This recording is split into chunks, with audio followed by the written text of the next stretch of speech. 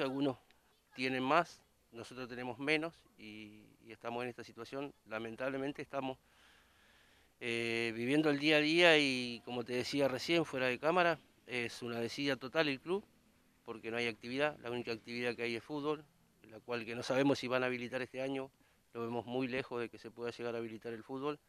Otras actividades se habilitaron menos el fútbol y lamentablemente nosotros eh, lo único que tenemos es fútbol, no tenemos otra actividad como para decir que podemos tener chicos eh, dentro de las instalaciones.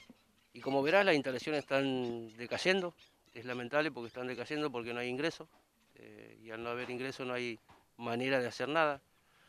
Hemos recibido el Fondo de la Asistencia al Deporte y bueno, con eso vamos a tratar de, ir mejorando un poquito, eh, un poquito las instalaciones para, para que no, no caiga. Pero bueno, es lo que estamos viviendo hoy. ¿Cómo te imaginas que van a seguir estos, estos meses de hablábamos recién? Bueno, muy difícil que retome en el corto plazo lo que es el fútbol. Ustedes tienen como única actividad de eso, nos comentabas que bueno, no están viniendo los chicos. ¿Cómo ves el futuro de Piratitas teniendo en cuenta esta situación? Mira, justamente en la reunión del martes que tuvimos deporte, eh, yo le dije a Facundo que iba, iba a ser muy difícil el volver. Si bien, como te dije recién, hay eh, clubes que están con apertura de algunas actividades porque tienen varias actividades. El comenzar el fútbol va a ser, no solo para nosotros, por ahí hablo en general, eh, el fútbol va a ser difícil el volver al fútbol.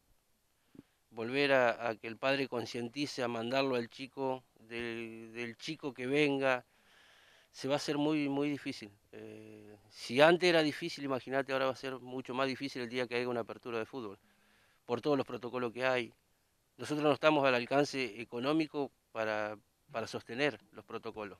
Si vos leíste o sabés los protocolos de AFA, nosotros creo que no vamos a llegar. Ya veo que no vamos a llegar. O sea que va a ser muy lamentable el no llegar con todos esos protocolos y privar a los chicos de poder jugar al fútbol. Eso va a ser muy doloroso para nosotros, para nosotros los dirigentes y, los que están día a día acá en el club. Eh, es muy costoso y nosotros Piratita no tiene eh, el fondo económico para salir eh, de esa situación.